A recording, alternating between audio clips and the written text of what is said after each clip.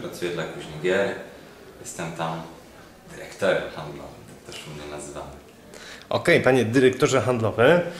E, Na innych sferach rok temu pokazywaliście pewną grę. Tak, e, rok temu udało mi się przywieźć e, jeden z pierwszych egzemplarzy Volsunga, która świeżo wyjechała z drukarni. Czy tu była premiera Volksunga? Można tak powiedzieć? Było, znaczy miałem tylko pojedyncze egzemplarze na, że tak powiem, do pokazania. To nie była jeszcze premiera handlowa, to była premiera. To przedpremiera. Tak, pokaz, dzisiaj- przed, pokaz przedpremierowy. Dobra, czyli e, mija dokładnie rok od pokazu przedpremierowego. Jak oceniacie ten rok Bardzo dobrze. w kontekście Volksunga? Może coś więcej powiedzieć? Znaczy, tak, no jesteśmy bardzo zadowoleni. Projekt Volsung y, w międzyczasie doczekał się przecież dwóch dodatków książkowych, mm, paru gadżetów. Y, W tym roku chcemy też jeszcze dwie kolejne książki. No, jesteśmy, że tak powiem, no, i zadowoleni, i pełni nadziei, tak? Okej. Jakie są dalsze plany Volksunga? Yy, inwazję na zachód. Yy, razem, czy zaczęliśmy już jakiś czas temu, tak, stroną Steampunk Fantasy i takimi pierwszymi nieśmiałymi próbami. Yy, chcemy przygotować yy, materiały dla zachodnich wydawców, e, PDF-a, mamy już gotową jazdę próbną po angielsku, yy, a po polsku kolejne dodatki. Tak? To, są, to, są, to są coraz, coraz większa ilość materiału od fanów, coraz większa e, ilość e, materiału, który sami mamy, tak? Zbieramy coraz lepsi graficy. Ile osób w Polsce gra w Volksunga? Ciężkie pytanie, tak? Czy, czy każda osoba, która kupiła jest mistrzem gry, czy każda prowadzi?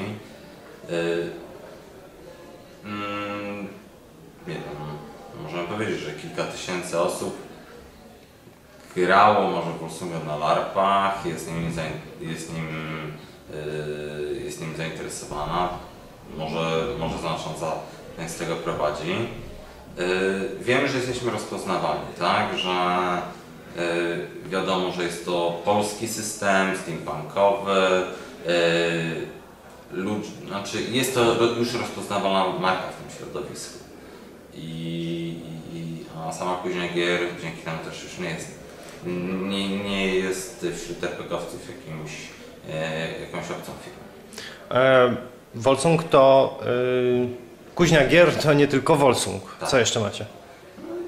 Zaczynaliśmy od planszówek, takich głównie, e, nazywamy je rympalerskimi, głównie zabawowych.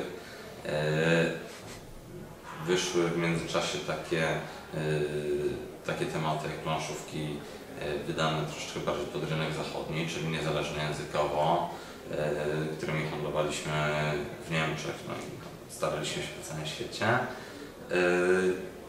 no i od niedawna, również od zeszłego roku, kolekcjonerska gra karciana, która dla nas jest też, też bardzo, bardzo fajnym projektem.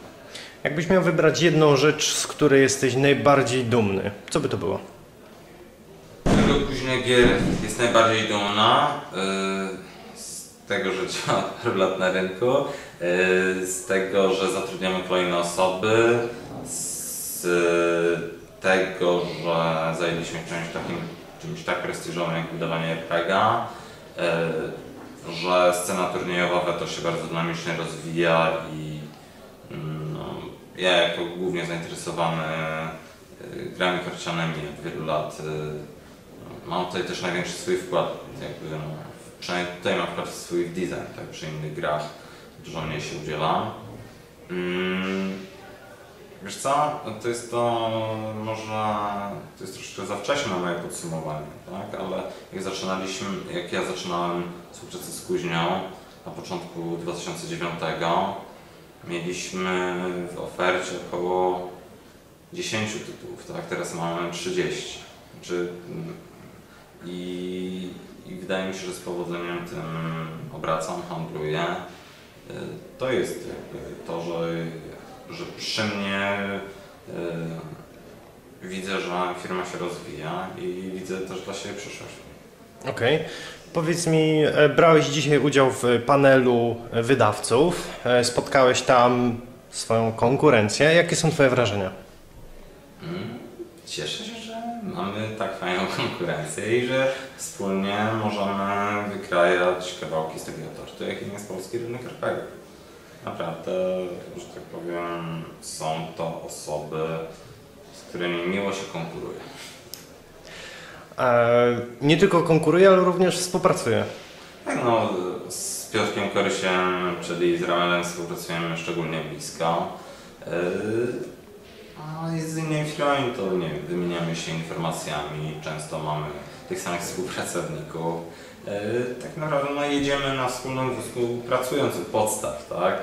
Yy, Promując yy, coś takiego, promując myśl wśród polskich graczy, że polskie RPG są dobre, są dobrze wydane, są w dobrej cenie, są, są świetnym produktem, tak? Że nie, na pewno nie wstydzimy się przed, y, czy nie czujemy, że nasze produkty są słabsze od zachodnich, a wręcz chcemy i znaczy próbujemy i niektóre rzeczy się udaje sprzedać nasze.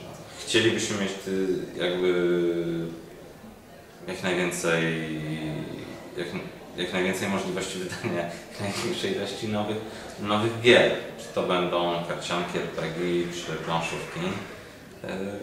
Chcielibyśmy cały czas móc próbować rzeczy.